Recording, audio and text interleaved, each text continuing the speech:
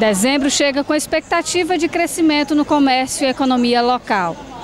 Alguns fatores contribuem para a positividade dos lojistas de Iguatu.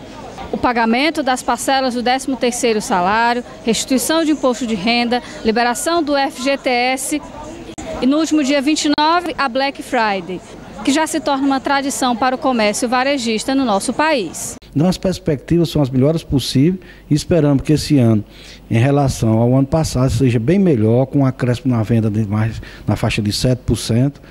Como já está acontecendo, nós tivemos agora no mês de outubro um aumento nas vendas, principalmente é, de autopeça, carros, motos, e de mais de 4% e a tendência à economia é ter um aquecimento, principalmente agora no fim do ano o comércio vai ter uma alavancada significativa.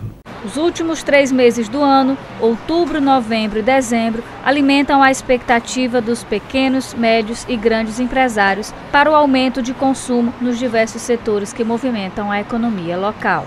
A expectativa para o comércio do final de ano 2019, nós estamos vendo, os empresários estamos vendo com bons olhos, porque a gente vê a mudança é, na economia, no investimento que está, é, a economia está ficando é, melhor. A gente sabe, através das, de boas pesquisas que a gente vê, que o empresário está mais confiante, confiante no consumidor dessa época do ano. Então, a gente vê que vão bons resultados, a gente vê que as empresas estão investindo em renovar seu estoque, se preparando para esse final de ano. A recuperação econômica tão mencionada nas mídias nacionais pode ser sentida pela população através da oferta de empregos temporários neste período do ano.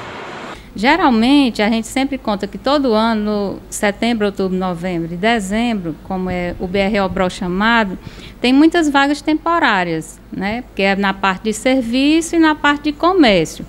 Na parte de serviço, eles contratam muito garçom, segurança, é, nessa parte de restaurante também, na parte de cozinha. E na parte de do comércio, eles pegam muito vendedores, vendedores temporários. E a maioria dessas pessoas, se eles realmente se firmarem e mostrarem que são bons, eles continuam trabalhando, que uma vaga temporária pode se, se transformar numa vaga permanente. Segundo o IBGE, comparado a setembro de 2018, o varejo no país cresceu 2,1%. As pressões positivas foram exercidas principalmente por móveis e eletrodomésticos, vestuário e calçados.